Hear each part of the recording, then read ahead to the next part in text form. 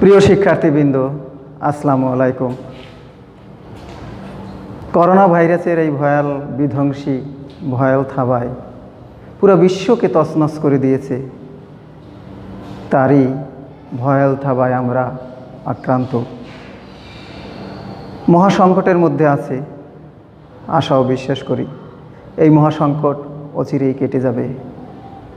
আমরা পাবো একটা সুন্দর জীবন পাবো একটা সুন্দর পৃথিবী, পাবো একটা সুন্দর দেশ, পাবো একটা সুন্দর সমাজ।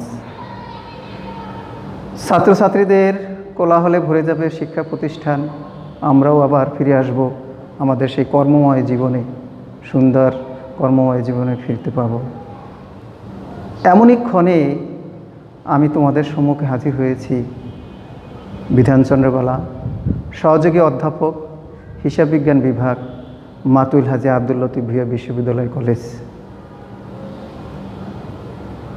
হিসাব বিজ্ঞান বিভাগের তৃতীয় বর্ষের ছাত্রছাত্রীদের জানাই আমার অন্তরের অন্তঃস্থল থেকে প্রীতি শুভেচ্ছা, অভিনন্দন, ভালোবাসা।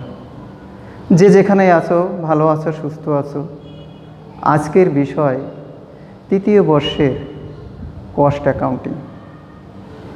তোমরা যারা সতেরো, আঠারো শিক্ষাবর্ষে ভর্তি হয়েছ, প্রথম বর্ষ, দ্বিতীয় বছর চলে গেছে। আজ তৃতীয় বর্ষে পদার্পণ করেছ, হয়তো তোমরা বিষয়টা অবশ্য অবশ্যই জানো না। কয়টা বিষয় আছে তৃতীয় বর্ষের? আটটি বিষয় আছে। তোমরা যেমন ফার্স্ট ইয়ারে পড়াশোনা করছ, ছয়টা বিষয়। সেকেন্ড ইয়ারে সাতটা বিষয়। থার্ড ইয়ার অর্থাৎ তৃতীয় বর্ষের আছে আমাদের। আটটা বিষয়। এই আটটা বিষয় থেকে আমি একটা বিষয়ের উপর আলোচনা করব। সেই বিষয়টা হচ্ছে কস্ট অ্যাকাউন্টিং বাংলা হচ্ছে উৎপাদন ব্যয় হিসাব। উৎপাদন ব্যয় হিসাবের ফোর্থ চ্যাপ্টার ম্যাটেরিয়ালস সম্পর্কে তোমাদের আজকে আমি আলোচনা করব। ম্যাটেরিয়ালস আলোচনা করতে গিয়ে আমাদের অনেক কিছু জানতে হবে। হোয়াট ইজ ম্যাটেরিয়াল অর্থাৎ কাঁচামালটা কি? কাঁচামাল হচ্ছিল উৎপাদনের মৌলিক উপাদান। যে উপাদান ছাড়া উৎপাদন সম্ভব না। যেমন, আমার হাতে একটা কলম দেখতেছ। এই কলমটা তৈরি করার জন্য অবশ্যই কাঁচামাল দরকার।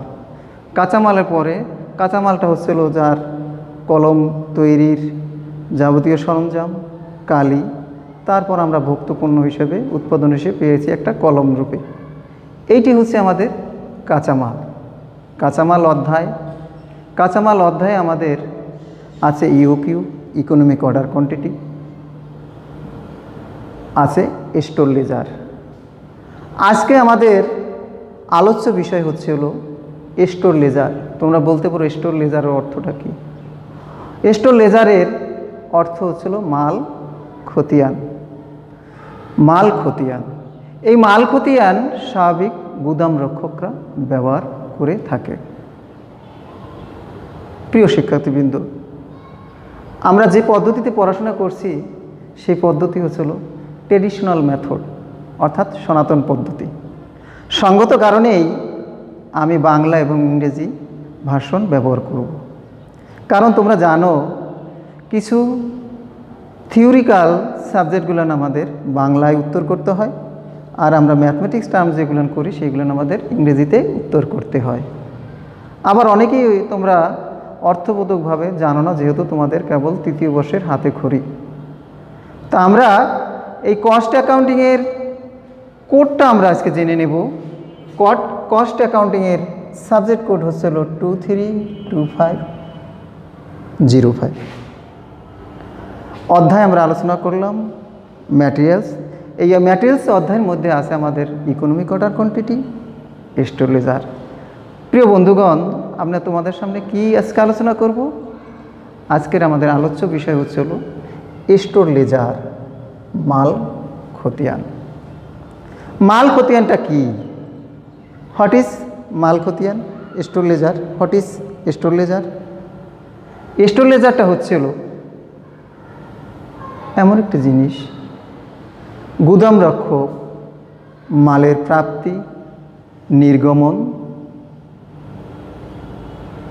মালের উদ্বৃত্ত ও মালের মোট মূল্যের পরিমাণ যে খতিয়ানের মাধ্যমে আমরা জানতে পারি, সেটি হচ্ছিল মাল খতিয়ান। তাহলে আমরা আজকে শিখলাম what is store ledger. Store লেজারটা হচ্ছিল এমন একটি খতিয়ান যে খতিয়ানের মাধ্যমে মালের প্রাপ্তি, নির্গমন, মালের উদ্বৃত্ত এবং মোট মূল্যের পরিমাণ আমরা জানতে পারি, তাকে বলব আমরা মাল খতিয়ান। ইংরেজিতে বলে স্টোর লেজার। স্টোর লেজার স্বাভাবিক গুদাম রক্ষক ব্যবহার করে থাকে। একজন বড় ব্যবসায়ী একই পণ্য সারা বছর ব্যবহার করার জন্য গুদামজাত করে থাকেন। এই গুদামজাত রক্ষণাবেক্ষণের জন্য একজন স্টোর কিপার থাকে।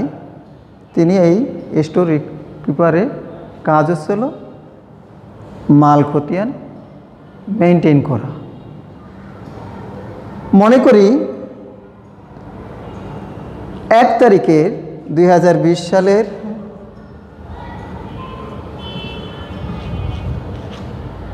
দশ কেজি পাঁচ টাকা করে ক্রয় করা হলো।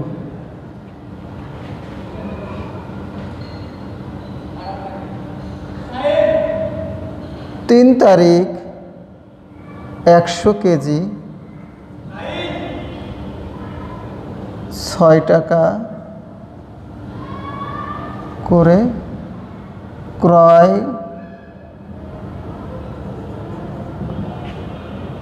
করা হলো।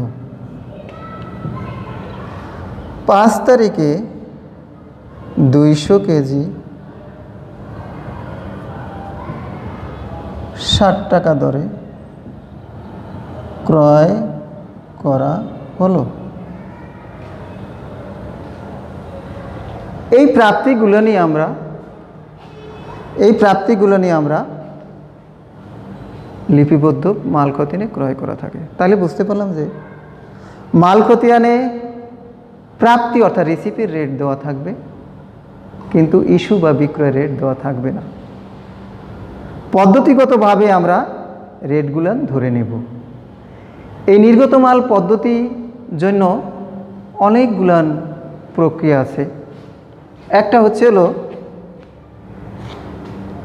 আগের মাল আগে ছাড়া পদ্ধতি ফার্স্ট ইন ফার্স্ট আউট শেষের মাল আগে ছাড়া পদ্ধতি last in first out simple average method সাধারণ গড় পদ্ধতি. চার হচ্ছে ওয়েটেড এভারেজ মেথড ভারযুক্ত গড় পদ্ধতি। আমরা আগের মাল আগে ছাড়া পদ্ধতিকে আমরা সংক্ষিপ্ত ফিফি বলতে পারি। শেষের মাল আগে ছাড়া পদ্ধতিকে আমরা লিফু বলতে পারি। এখন আমরা আলোচনা করব আগের মাল আগে ছাড়া পদ্ধতিতে মাল খতিয়ানে কীভাবে প্রয়োগ দেখানো হয়? ধরে নেই দু হাজার বিশ সালের পহেলা জানুয়ারি দশ কেজি পাঁচ টাকা দরে পারচেস করা হয়েছে বা ক্রয় করা হয়েছে। তিন তারিখে একশো কেজি ছয় টাকা করে ক্রয় করা হয়েছে। পাঁচ তারিখে দুইশো কেজি ষাট টাকা দরে ক্রয় করে হয়েছে। পূর্বেই বলেছি বিক্রয় অর্থাৎ সেলসের রেট দেওয়া থাকবে না এই তিনটে রেটের মধ্যে আমরা কোন রেটটা যদি আমি ফার্স্ট ইন ফার্স্ট আউট মেথডে অঙ্ক করি ফার্স্ট ইন ফার্স্ট আউট মেথডটা হচ্ছিল কোন পদ, কোন জিনিসটা আগে আমি বিক্রি করব। অর্থাৎ আমরা যে মালটা, অর্থাৎ এক তারিখে যে মালটা আসছে, সেই মালটাই আমরা আগে বিক্রি করব। আগেরটা শেষ না হওয়া পর্যন্ত দ্বিতীয়টা বিক্রি করা যাবে না দ্বিতীয় হচ্ছে হলো লাস্ট ইন ফার্স্ট আউট অর্থাৎ শেষের মাল আগে ছাড়া। শেষের মাল আগে ছাড়া হচ্ছে, ধরে নেই, এক তারিখে দশ টাকা, দশ কেজি, পাঁচ টাকা দরে পারচেস করা হয়েছে। তিন তারিখে তিন তারিখে এক একশো কেজি, ছয় টাকা রেটে ক্রয় করা হয়েছে। পাঁচ তারিখে দুইশো কেজি, ষাট টাকা দরে ক্রয় করা হয়েছে। আমি যদি আট তারিখে ইস্যু করি বা বিক্রি করি, তাহলে আমাদের রেটটা ধরে নিতে হবে ষাট টাকা রেট। অর্থাৎ নিচের থেকে আমরা আট বিক্রি করব। অর্থাৎ শেষের মাল আগে বিক্রি শেষে আসছে কোনটা? পাঁচ তারিখে। এই পাঁচ তারিখের মালটাই আমরা বিক্রি করব। সিম্পল এভারেজ মেথড সাধারণ গড় পদ্ধতি। সাধারণ গড় পদ্ধতি আমরা ধরে নেই। প্রথমে আসছে পাঁচ টাকা রেট, দ্বিতীয় আসছে ছয় টাকা রেট, তৃতীয় আসছে ষাট টাকা রেট। এই ছ পাঁচ, ছয়, সাত। এই তিনটাকে যোগ করে যে গড় পাওয়া যাবে, সেই গড়ের ফলাফল দিয়ে হবে ইস্যু রেটটা। অর্থাৎ আমাদের প্রাপ্তির পরিমাণের রেটের গড়টা আমরা সিম্পল এভারেজ মেথডে করব। তার পরবর্তী ক্লাসে আসি আমরা weighted average method weighted average মেথডটা হচ্ছে হলো বাংলায় বলে ভারযুক্ত গড় পদ্ধতি। অথবা গুরুত্ব গড় পদ্ধতি ওয়েটেড এভারেজটা হলো মোট টাকাকে মোট পরিমাণ দিয়ে ভাগ দিলে যে রেটটা বের হবে সেটি হচ্ছে আমাদের ওয়েটেড এভারেজ রেট বা ভারযুক্ত গড় পদ্ধতি। এখন আমরা দেখব স্টোর লেজারের নমুনা ছক কীভাবে করতে হয়। আমরা লিখব স্টোর লেজার যদি ফিপু মেথডে করি। আন্ডার ফিপু মেথড এ জায়গায় লিখব ম্যাটেরিয়ালস কোড নং বিন নং লোকেশান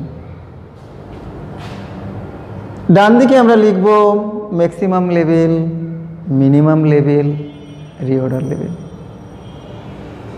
ছকটা হবে আমাদের date particulars receipt issue balance receive অর্থাৎ প্রাপ্তিকে আমরা আবার দুই, তিনটে ভাগ ভাগ করব। ইউনিট রেট অ্যামাউন্ট ইস্যুকে অর্থাৎ বিক্রিকে আমরা তিনটে ভাগে ভাগ করব সেলসও অনেকে বলে। ইউনিট রেট অ্যামাউন্ট ব্যালেন্স উদ্বৃত্ত, বাংলায় বলে উদ্বৃত্ত। উদ্বৃত্তকে আমরা ইউনিট রেট অ্যামাউন্ট হিসেবে ভাগ করব। প্রিয় শিক্ষার্থীবৃন্দ, আজকে তাহলে আমরা কি শিখলাম? শিখলাম হচ্ছিল ম্যাটেরিয়ালস কি? ম্যাটেরিয়ালসে অধ্যায়ে আমরা আলোচনা করছি। আজকের বিষয় হচ্ছিল স্টোর লেজার। স্টোর লেজার করার জন্য কয়েকটা মেথড আছে। একটা মেথড হচ্ছে হলো first in, first out, last in, first out, simple average, weighted average method. আজকে আমরা বাস্তবে দেখলাম কীভাবে সিম্পল এভারেজটা কি, ওয়েটেড এভারেজটা কি, ফিফু মেথডটা কি, লিফু মেথডটা কি। প্রিয় শিক্ষার্থীবৃন্দ, আজকে আমরা অনলাইনের পাঠদান করতেছি। শিক্ষা মন্ত্রণালয়ের নির্দেশ ক্রমেই আমরা এই পাঠদান কার্যক্রম চালু করেছি। এর পৃষ্ঠপোষকতা পোষকতায় আছেন অত্র কলেজের গভর্নর বডির চেয়ারম্যান জনাব মোহাম্মদ আব্দুর রাকেল ভুইয়া বাবু, আছেন আমাদের অধ্যক্ষ মহোদয় আবু নবান মোহাম্মদ মতিয়ার রহমান, সার্বিক সহযোগিতায় আছেন রেদানুল হক, বাংলা ডিপার্টমেন্ট সহযোগী অধ্যাপক, আছে আমাদের অফিস সহকর্মী শাহিনুর রানা। আমরা আমার এই প্রস্তুতির জন্য তাকে আমার আন্তরিক ধন্যবাদ জ্ঞাপন করছি। তোমাদের আমি তোমাদের কাছ থেকে এখন বিদায় নেব। বিদায় না নেওয়ার আগে আমি একটা কথা তোমাদের কাছে বলব। সামাজিক দূরত্ব বজায় রাখো। নিজকে সেভ করো। সমাজকে সেভ করো। ভালো থাকো, সুস্থ থাকো। আমরা বীরের জাতি, আমরা ভয়কে করব জয়। সবাই ভালো থাকো, সুস্থ থাকো। আগামী ক্লাসের অগ্রিম শুভেচ্ছা জানিয়ে আমি আমার ক্লাস শেষ করছি। ধন্যবাদ। ভালো থাকো